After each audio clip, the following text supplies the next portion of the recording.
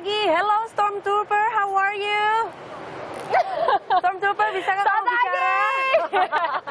Gila, Kita kece hari ini banget. masih ngomongin soal robot-robot. Kalau tadi Sheila udah ngomongin soal robot-robot juga Iya. ya, sampai ke luar negeri. Sekarang kita punya anak bangsa yang ternyata membuat sebuah komunitas yang masih ada kaitannya dengan robot-robot juga, Ya, tapi betul, ternyata ini aja. semua terbuat dari Kertas.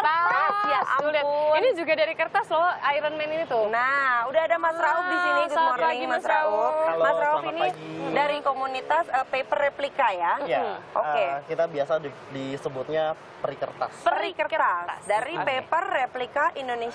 Ya, Hmm. Oke. Indonesia. Jadi kegiatannya apa aja Mas di peri kertas ini? Eh, kerjaannya kita bikin replika dari kertas pastinya. Dan ini eh, orang-orang awam itu bisa langsung ngerjain juga, bikinnya seperti ini, eh, macem-macem model-modelnya, mulai dari bangunan, karakter game, robot, eh, bahkan kayak eh, barang-barang kehidupan sehari-hari juga ada. Oke, tapi Gitu. awalnya kenapa sih punya ide untuk membuat kertas atau mengolah kertas menjadi sesuatu yang dipajang kayak gini gitu kan? Eh, pertama kita peng kita suka banget sama kertas. Kita suka banget sama kreativitas. Dan kita pengen eh, kreativitas ini tertular juga ke masyarakat Indonesia terutama generasi muda gitu. Mereka bisa belajar lebih banyak tentang tiga dimensi mereka bisa belajar lebih banyak tentang kreativitas mereka bisa bikin eh, barang-barang yang mungkin mereka suka. Ada di film ada di gambar ada di kehidupan sehari-hari bikin replikanya jadi eh, koleksi mereka. Ini bahkan ada wayang juga loh, ada karakter Indonesia juga di sini. Iya, Tapi ngomong-ngomong Mas, ini kalau ngelihat ini kan eh, cukup kecil ya ukurannya ya. Ini kalau untuk menyelesaikan satu wayang gini berapa lama? Eh, Untuk kurang pembuatannya? lebih nggak sampai satu jam sih. Untuk Sampai satu- em, satu merakitnya. Untuk Tapi kalau untuk mendesainnya, ini siapa yang mendesain semua? Nah, kalau yang ini desainnya kebetulan eh, dari Mas Faisal. Ini eh, asalnya dari Bandung Oke. dan beliau ini ngerjainnya emang bener-bener detail banget. Oke. Mm. Eh komunitas ini kan Ya. tersebar se Indonesia ya Mas Rauf ya? Yes, Anggotanya betul. udah ada berapa sih? Kalau untuk anggota sendiri di yang tercatat di eh, grup kami ada 12.000 orang. Wow, itu Iya. tersebar di seluruh provinsi. Iya, tersebar di seluruh provinsi. Kita ada terbagi dari 35 regional di Indonesia berbasis kota. Wow. Gitu. Dan ini hasil hasil karyanya ini memang diperjualbelikan atau semata-mata buat koleksi doang? Nah, ini yang seru. Seru, seru banget. Kenapa? Hasil karya ini, eh, paper replika ini, eh, itu bisa diunduh secara gratis. Mm-mm. Jadi orang-orang, eh, teman-teman yang baru tahu, pengen belajar, pengen pengen bikin juga, bisa eh, mengunduh gratis dari website kami di www.paperstripreplica.com. www.paperreplika.com ini kalau saya lihat-lihat websitenya mas ternyata banyak sekali pilihan eh, ada robot ada bangunan. Bahkan yang paling menarik kan Sheila ada Iya. ada ini loh replika jam gadang. Wow, mana? Nih. Oh iya. Nah, jadi bahkan rumah-rumah tradisional di Indonesia juga ada replikanya di sini. Jadi kita maksudnya ini untuk eh, mengajarkan anak-anak mengenal rumah-rumah adat apa gimana, Mas? Eh, lebih ke pengenalan betul lebih ke pengenalan mereka nggak cuma ngelihat rumah adat dari gambar dari dua dimensi atau bahkan ke taman mini tapi mereka juga bisa bikin replikanya langsung di meja Oke. belajar mereka masing-masing Sebentar, tadi boleh diunduh atau di-download gratis, terus kita bisa memilikinya. Tapi ini bisa jadi peluang bisnis juga nggak? Maksudnya ini diperjualbelikan juga nggak? Mungkin di pesanannya sampai ke luar negeri atau gimana? Iya, jadi kalau untuk ini eh, dari paperreplika.com sendiri eh, sudah kita desain dan sudah disebar secara gratis. Cuma mereka boleh download, boleh mengunduh, tapi tidak boleh memper- memperjualbelikan. Oh, Tapi berarti kalau memang- misalnya ada desainer-desainer yang saya pengen sumbang gambar dong Ya. untuk peri kertas bisa? Bisa, bisa banget. Ini bisa ada banget. gambar cepot. Eh, coba dong, ya, coba coba gu- gunting-gunting ya. Eh, Oh, jadi ini hasil eh, print yang sudah diambil Oke. dari website ya? Jadi Akan jadinya eh, seperti itu. teman-teman udah bisa download, Uh-uh. nanti bisa di print sendiri di rumah. Itu pakai kertas biasa aja, kertas A4 aja, print warna pastinya. Eh, udah di udah di print seperti ini. Kita sarankan kertasnya agak lebih tebel ya. Iya, ini ini kalau misalnya eh, ini memang teksturnya model-modelnya mirip dengan seni-seni origami, cuma Iya. ini jauh lebih tebal ya Mas ya kertasnya. Iya. Jadi Kertas kalau- apa sih ini mas ini namanya? Kalau ini kertasnya, kalau ini art paper.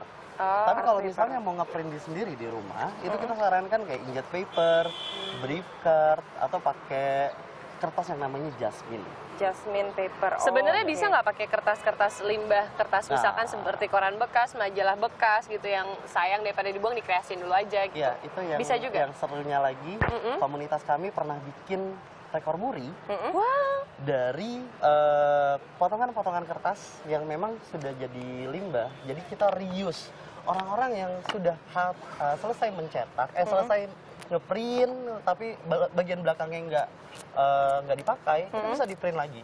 Dan Oh, itu oke. pernah eh, kita bikin eh, rekor muri. Papercraft terbanyak yang di Yang dibuat, yang dirakit. dibuat eh, selama dua kurang lebih dua minggu Heeh. oleh teman-teman seluruh di Indonesia eh, dan itu jadi seru banget sih. Mereka bisa warnain sendiri, mereka bisa rakit sendiri dan itu dikirim ke satu tempat. udah jadi, Oh, udah dipotong-potong. gunting-guntingnya? Iya. Coba dikasih Iya tunjuk nih, dong. jadi kalau misalnya nanti udah dipotong-potong gini jadinya tuh. Ini Sheila lagi bikin cepot tadi. Mana ini tuh? Jadi Ayo, aku lagi bikin kalau cepot udah deh. Hmm. digunting semua, nanti tinggal dikasih lem ya Mas Rauf ya. Ah, ah, kita Diberi ikutin. perekat, ikuti modelnya aja, Mm-mm, mm-mm. dirakit-rakit, nanti jadi deh. Akhirnya mana hasil jadinya? Ini hasil jadi Ada, cepotnya. Bolehlah jadi ini kita ya. Dan masih banyak juga loh kalau misalnya kita lihat di belakang, bukan cuma robot-robot aja ya Mas Rauf ya. Ada kalau misalnya perempuan-perempuan nih, ada yang namanya nih My Little Pony. My Little Pony, Ya ampun, ini kecil banget. Ini ini harus harus detil dan hati-hati nih membuatnya ya. Itu Ada itu nggak sih, Mas? diperkecil.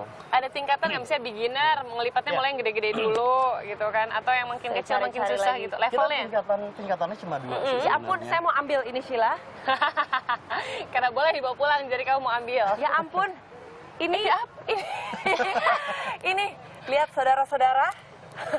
ini Kamu tahu nggak yang paling luar biasa apa sih? ini bahkan kecil sekali. Saya takut ketiup angin loh ini. Iya, yang luar biasa itu, itu ditaruh di situ tapi kamu lihat. kecil Ya, banget. karena saya jeli aja gitu melihat ini ada benda kecil. Ini saya kebayang gimana ngeguntingnya, Iya. gimana ngelemnya, sama ngelipetnya itu kan. sama ngelipat-lipatnya. Ini jadi kalau misalnya eh, koleksi, misalnya untuk dikoleksi gitu. Ya.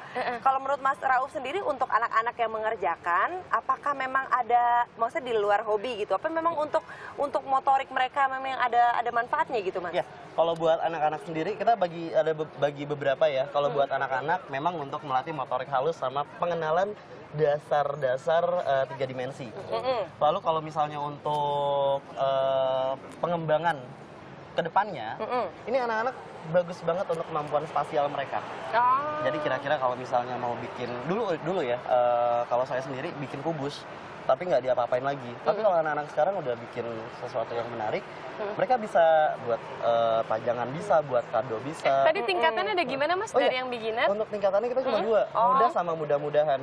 Itu doang. Mudah, Jadi mudah mungkin mudah nggak aja. kaca. Mudah-mudahan, mudah-mudahan jadi kayak Iron Man ini. Ini Dan berapa lama nih bikin Mudah-mudahan nggak terbang ya Mudah-mudahan kalau kecil. terbang. Ini berapa lama Iron Man ini Kurang lebih kalau misalnya emang eh, waktunya ada ya, eh, biasanya sih selalu sarankan kerjain di waktu luang aja. Heeh, Ini kurang oke. lebih sekitar dua bulanan. Oh, gitu. Pernah ikut pameran gitu nggak sih pameran Ya, di mana? pameran eh, pastinya kita selalu ikut Hah? pameran Hah? karena untuk aktivitas kami ada dua online sama offline. Heeh. Kalau online-nya itu kita chatting eh, di groups Eh, online, tapi kalau offline kita pameran dan workshops. Mas dengar-dengar ini komunitasnya udah sampai ke mancanegara juga. Iya, iya. Jadi kalau untuk komunitas mancanegara itu kita terinspirasi dari peri, eh, dari Perikertas dari paperafrica.com itu menginspirasi yang eh, komunitas luar juga. Ada di negara mana aja tuh? Eh, di Eropa, ada di Amerika juga, ada di Venezuela. Ini terus- lepas dari yang 12.000 ribu tadi ya? Iya, Ah, iya. ini di 12.000 tuh cuma di Indonesia. Iya, berarti ternyata penggemar eh, papercraft ini banyak sekali di luar sana ya. Iya. Ada rencana ke depannya nggak Mas untuk komunitas ini mungkin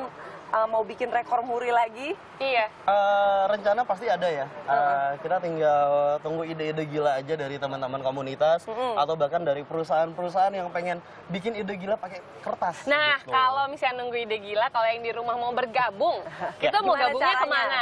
Gimana cara caranya? gabungnya gampang banget. Hah, Eh, Ngumpulnya di mana sih, Mas? cara gabungnya nggak perlu nggak perlu apa ya istilahnya nggak perlu pakai biaya nggak perlu daftar nggak perlu uh, masukin data. Iya. jadi tinggal bikin papercraft aja satu buah. Satu buah. upload ke grup kami di Facebook. Uh, grupsnya namanya singkat peri empat huruf doang. Peri. P E R I Eh, Udah. jadi gabung. ke Udah gabung. Oh, jadi Tapi pokoknya ada tempat ngumpulnya gitu di mana? mengirimkan barang bukti dulu nih. Saya sudah pernah bikin papercraft gitu ya. Itu wheelnya kenceng berarti ya. Biasanya ngumpulnya di mana? Kalau misalnya ada yang mau Ngumpulnya, datang gitu. kita pastinya kan online aja Oh, eh, online, untuk oke, komunitas. oke. Tapi biasanya kita eh, pengen banget untuk kumpul-kumpul setiap regional pasti ada ya setiap minggunya. Ya, oke. Eh, entah itu di Car Free Day atau di tempat pameran atau tempat workshop dan pastinya itu ada informasinya di groups. Oke, Oke. dipantau aja lewat media sosial kalau gitu ya. Yes. Terima kasih banyak Mas Rauf, sukses Ya. terus dengan papercraft dan perinya. Kita tunggu kreasi-kreasi berikutnya ya. Betul. ke mana-mana, Indonesia Morning Show masih akan segera kembali dengan informasi lainnya. Bye-bye.